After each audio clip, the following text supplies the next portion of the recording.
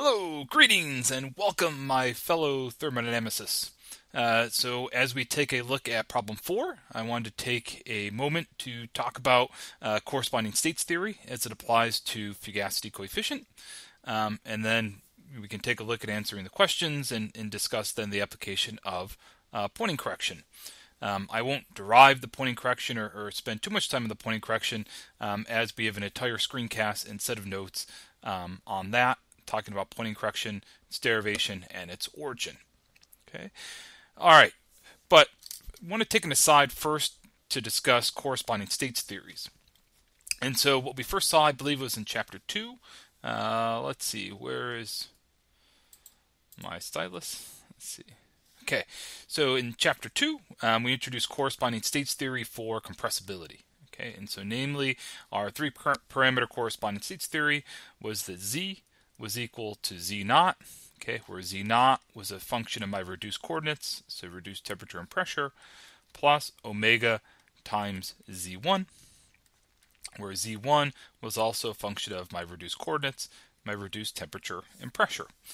And so the idea was is that if you know the temperature and pressure um, of my system of interest, along with its critical temperature, critical pressure, and acentric factor, um, you could go look up Z naught and Z1 uh, in uh, the tables, um, and then apply this equation to get an estimate of, of Z.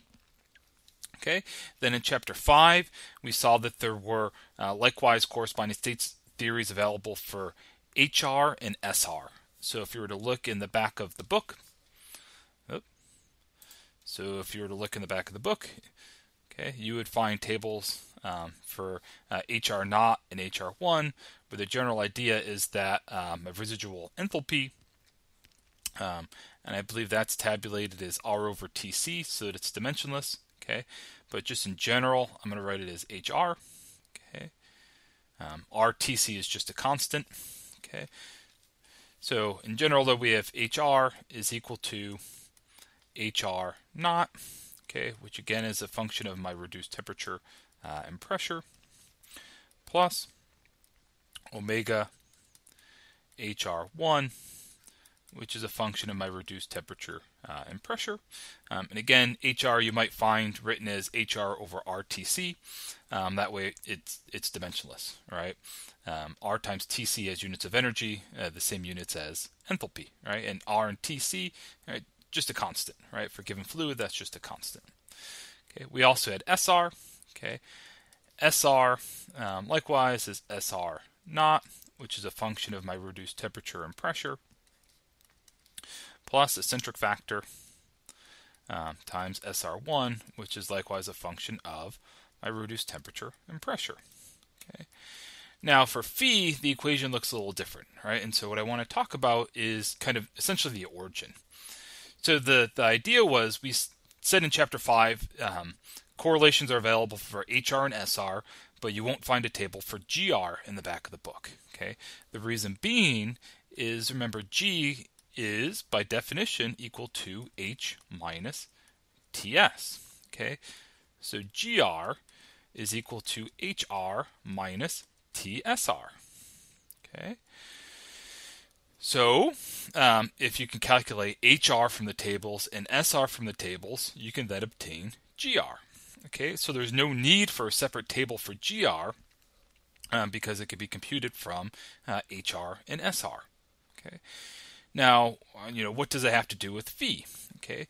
Now let's talk about the, you know, kind of origin of, of fugacity coefficient again, if you will. Okay. So our definition of fugacity is that for an isothermal process, okay, so for an isothermal process, the difference in molar Gibbs free energy Okay, remember we're talking about a pure component system here. The difference in molar Gibbs free energy between my um, system of interest and we'll call it some reference state um, at the same temperature, right? Isothermal, but need not be at the same pressure, is equal to RT log ratio of fugacities, okay, which are at the same corresponding states. Okay, so if I take my um, reference state or standard state to be that of an ideal gas at the same conditions. Okay, I have G minus G ideal gas at the same TMP, which is equal to G residual, okay, at TMP, okay, and on the right hand side, RT log F over the fugacity of an ideal gas at the same TMP, okay, fugacity of an ideal gas is just equal to P,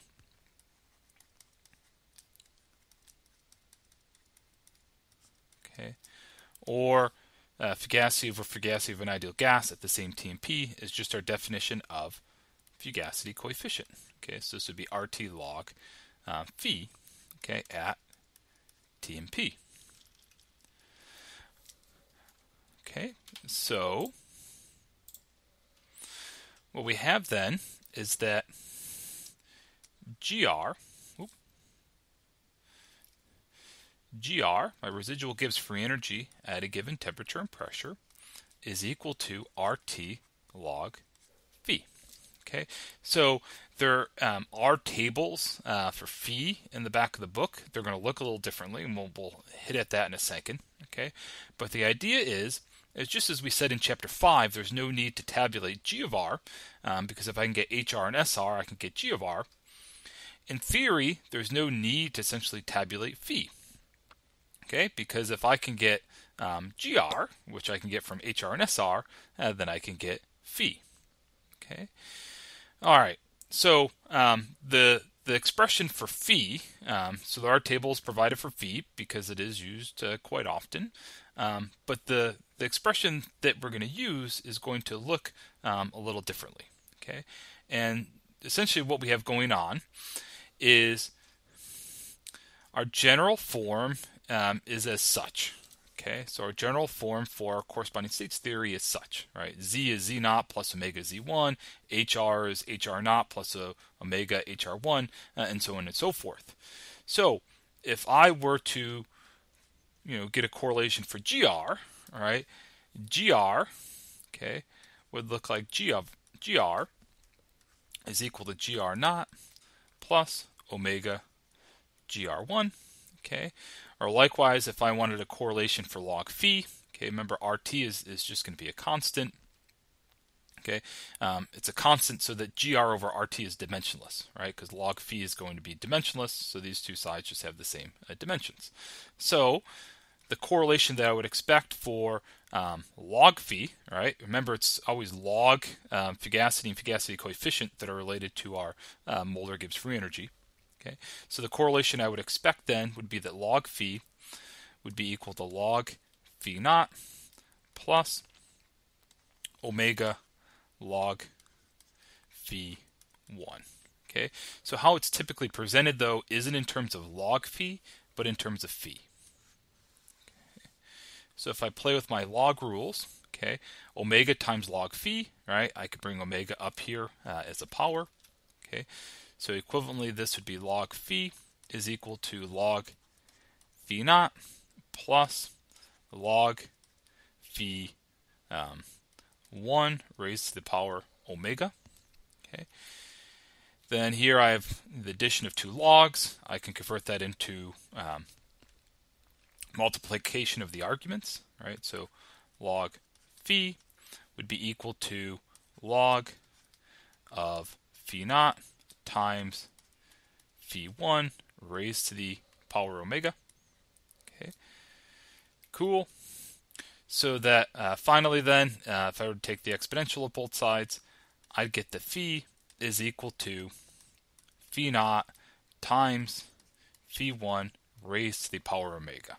Okay, so when you see this expression um, used in the book, um, and then you see tabulated values for phi naught and phi1, you know, this gives you an idea then of, of where this foreign equation, you know, suddenly, you know, appears from, right? It, it, essentially, the, the expression that we'd expect um, is uh, log phi, uh, just as we had before for other expressions, um, but the book chooses to represent things in, in terms of phi. So if I were to go to the back of the book, okay, well, so this is uh, the appendix from Smith, Abbott, Van Ness. So in their appendix B, I could look up my critical properties and acentric factor. Then Appendix E, we have our Lee Kesler tables, right? So they have compressibility factor, residual enthalpy, entropy, and fugacity coefficient, right? And the tables for fugacity coefficient are going to be in terms of phi and, and not log phi, right? And then the final equation that you would um, use them with would be uh, this expression here, right? Its phi is phi naught times uh, phi 1 raised to the power omega, okay? Um, so just sometimes that's confusing.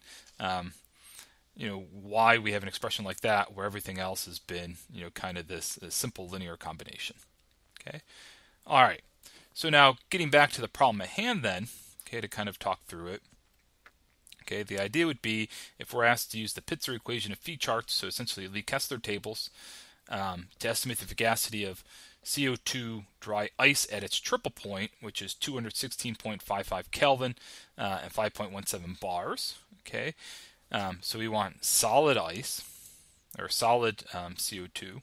Okay, the general idea being is that at the triple point, okay, at the triple point I have uh, vapor in equilibrium with liquid and equilibrium with the solid. All right, so triple point, I have fugacity of my vapor is equal to fugacity of my liquid is equal to fugacity of my solid, okay, which is just equal to the fugacity at saturation. Okay, um, and so we are given um, we'll just say a, a given TMP. Nope. So we're given uh, the temperature and pressure of interest, okay, and asked to calculate uh, essentially the fugacity of saturation at those conditions. And so the steps would be, you know, one, we would look in the back of the book for TC, PC, and omega, okay. Then two, you would compute your reduced coordinates Okay, and then once you compute your reduced coordinates, you can you know look up phi naught and phi one. Okay. Now remember the one challenge with the Lee Kesler tables is you may need to uh, perform a double interpolation to estimate that value, um, but it can be done, uh, and it's still a lot more accurate than uh, using the tables that are used in or provided in our textbook. Okay, so you would look up phi naught and phi one, and then once you have phi naught and phi 1, step 4 would be compute phi. I compute phi via this equation up here. And then finally, once I have phi, okay, so this would essentially be, you know, phi sat, all right, get phi sat from, from this equation. Um, you know, f sat then would just be equal to phi sat times you know the pressure I'm given, which is which is PSAT. So once I compute phi, I can multiply by p, and I have fugacity. Right? Life is good. So hopefully, hopefully it's not too bad. Okay. And then you know in B, in this problem, it's just going to be an application of Poynting correction. Okay. And so what to look out for here is in A, um, we've estimated uh, the fugacity um, at its triple point, and we use the you know Pitzer equation and phi charts um, as indicated. And then it says calculate the fugacity of uh, the dry ice um, at 216.55 Kelvin and 70 bars. Okay, and so what's key here is that this state in B is at the same temperature as our initial state. It's just at a higher pressure. Okay, um, and so you essentially um, you know what we're trying to do is well again we we could derive the expression but you know remember that you know um, uh, what do you call it um, uh, for an isothermal process right it's it's you know the difference in molar Gibbs free energies at log ratio of fugacities um, so it's the uh, differential in my dimensionless g which is you know related to the differential of, of log f okay um, and so for an isothermal process you know, that temperature dependent term in our, our, differential for G would, would go away, and we would just have to integrate the pressure dependent term, which, leads to uh, Poynting correction. Um, so, so anyways, right, what's key here is that these two states are at the same temperature. Um, here, the pressure is just greater than that at saturation. So here we, we calculated the uh, fugacity of, of uh, dry ice, which is the same as you know, the vapor or liquid or, or uh, just at saturation in general. So now we're at the same temperature but a higher pressure, so we're in a compressed we have a compressed phase. So here we'd have a compressed solid. Um, and so that screams uh, Poynting correction. And so basically, um, oh, and we're given density here. Okay, so this is CO2. So what we would need to do is convert this density to uh, molar density or, or, molar volume, okay, and not pounds per foot cubed. Um, but the general idea then for, for Poynting correction would be, you know, my fugacity, okay, would be equal to the fugacity at saturation um, times my Poynting correction, which would be the exponential of um, assuming that it's incompressible, would be a molar volume uh, times uh, P minus P sat over RT. Okay, um, how I remember Poynting correction is just this exponential term is dimensionless, so PV has the same units as RT, right? It's dimensionless. You can think about your ideal gas equation of state. Um, and then this is my uh, pressure of interest minus my starting pressure, okay, minus my reference pressure. Okay, and um, this expression here assumes that our fluid is, is incompressible. So in um, incompressible. Okay, so for an incompressible fluid, my Poynting correction takes this term. Okay, and again, this is nothing more than my fugacity divided by my fugacity at saturation at um, the same t. Okay, that's all my Poynting correction is. Um, okay, cool. Here it's exponential because we're dealing with you know f and not log f. Okay, so in order to solve b, um, I need to apply Poynting correction, and so you know here it's just going to be a matter of units. V here is my molar volume, so we're given a mass density. So you'd have to convert that mass density to molar density and the molar volume and then it's just making sure your units are consistent throughout so that this is dimensionless. Um, personally, I'd probably convert everything to SI units, um, so then I could just plug in and, and, know it'll work. Okay, but that's um, that's problem four. I hope that helps.